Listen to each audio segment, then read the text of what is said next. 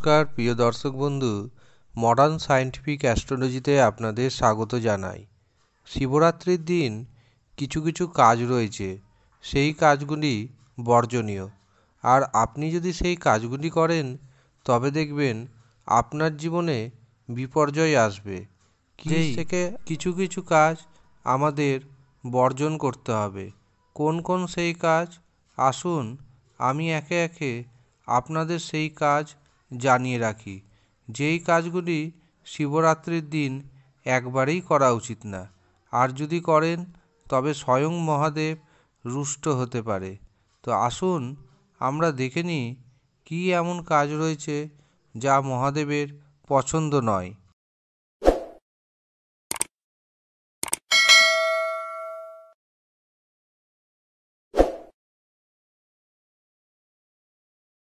প্রথমত শিবরাত্রির দিন আপনারা ধারালো জিনিস ব্যবহার করবেন না, যেমন চাকু, কাঁচি, ছুঁচ, এগুলো একদমই ব্যবহার করবেন না। দ্বিতীয়ত, শিবরাত্রির দিন বাড়িঘর পরিষ্কার পরিচ্ছন্ন রাখার চেষ্টা করুন। যেখানে যেখানে নোংরা রয়েছে, সেই নোংরা আপনি পরিষ্কার করুন।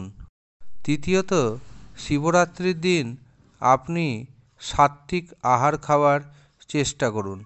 সাত্ত্বিক আহার অর্থাৎ নিরামিষ খাদ্য।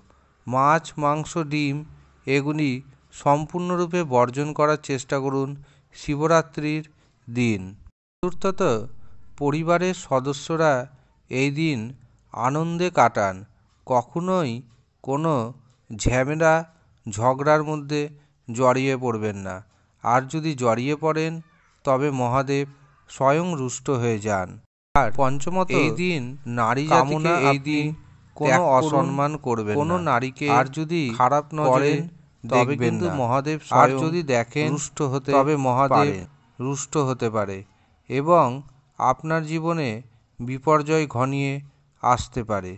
এই দিন আপনি মদ্যপান করবেন না। এছাড়া গাঁজাও খাবেন না। এখন আপনাদের মনে হতে পারে মহাদেব তো স্বয়ং গাঁজা খান, তবে আপনারা কেন খাবেন না?